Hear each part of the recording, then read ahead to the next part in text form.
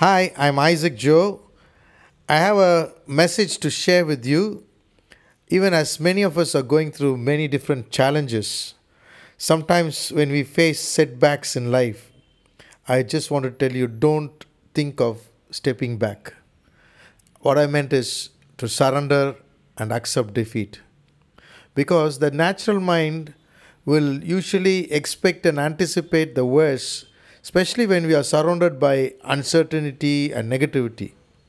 This is a dark period people go through when you can't really see beyond the now, what you're going through, you're not able to see good times ahead. The facts of life may be against you, though they may be all real. What I meant is the reports can say like this, uh, even your children's uh, mark sheets can say something, your financial uh, balance can say something, but that is real.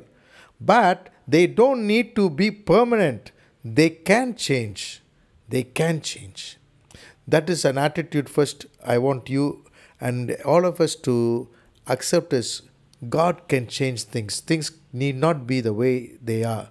Even health can come back. And you may ask me how, because uh, I go back to our father of faith, Abraham. Now, God says, No, you look to him. He is the rock from whom you have been cut. So, when you look at him, he was a man of faith. But in that faith, there's another shade, or what can I say, element of faith. The Bible says he accounted that God was able to raise Isaac even from the dead. When his only hope was the son Isaac, and the promise was given through Isaac, now God is telling him, Come and sacrifice. He never debated, never argued, never fought with him, never tried to twist his hand. But see the, the, the element in that faith, that is, in another translation, it says, Abraham assumed, he reasoned that if Isaac died, God was able to bring him back to life again. Now, this is something not expecting things not to happen, but even if things can go wrong sometimes, but God can straighten it and give it back. So, what are you going through, my friend? What are you going through? What is bothering you? What is making you feel heavy? What is making you feel there is no uh, hope? They say, no, there's no light at the end of the tunnel like that. But that can make you think, no, the life is over. Because naturally people think, no, once you go through this, then the next this will follow. My time is out. Maybe my health is out. Where is the time? My youth is gone. So all these thoughts will make you feel your life is over, but I want to tell you, your life is not over. There's more to your life. God is working behind the scenes. God has got a beautiful future for you. See, God's nature, He is able to reverse, restore, and give back the locust eaten days. That is, He can undo the past damage and recreate a new thing in your life.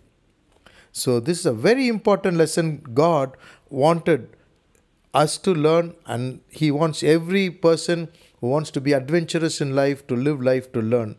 That's why you see when God called Moses when he was 80 years, he almost gave up. He was very uh, heartbroken, but God called him to use him. So when he called him, the first thing he taught him, one of the one of the few things initially to reinstate him into the ministry and to be used to bring the people of God from the land of Egypt, he did something. What did he do? In Exodus 4 6, then the Lord said to Moses, Now put your hand inside your cloak. So Moses put his hand inside his cloak, and when he took it out again, his hand was white as snow with severe skin disease. This is like a leper. See, when your hand becomes so leprous, there is no hope. That's all. That's the end of it.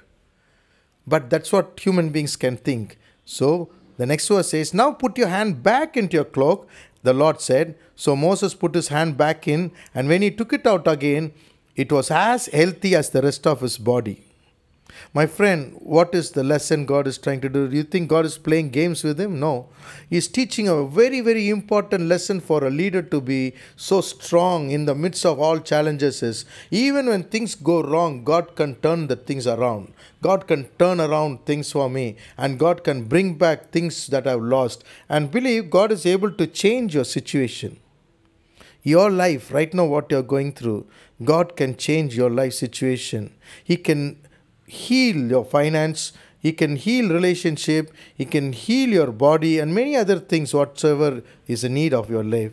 All you need to do is say, Lord, I believe you are able to, you are able to do, Lord.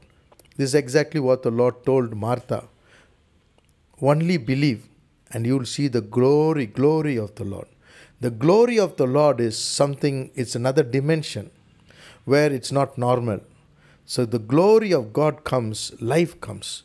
So now in, in our life, in our health, in our finances, in our impossible situation, we want to see life, not death. We want to see the glory of God and only need to say, Lord, I believe I believe you are able, Father. You are able to straighten out these things. So I have hope, Lord. Even in the midst of the situation, I want to thank you that you are a God who brings, Lord, life who brings, Lord, hope, who brings back what I've lost. You can make the crooked things straight. Whatever I've lost, you can restore it manyfold. The same way you did it in Job's life, Lord. His latter life was glorious, better than his former de- defeated, destroyed life by the devil's attack. He lost everything, but he got everything twice. I pray, Father, I pray for my brother, my sister, whatever the heart is worried about. I pray the hope that is in you. You are able to give back. Help us to now I pray for my brother, my sister, that the ability to look beyond the present, to look beyond the sadness, to look beyond the failure, look beyond the reports, and to see, my God, surely goodness and mercy will follow me all the days of my life, and God will do a miracle in my life, and I will live for His glory, and I will not die but live and declare the works of God. I pray that you do a miracle, Lord, even as they hear this. In Jesus' name. Thank you, friends. God bless you.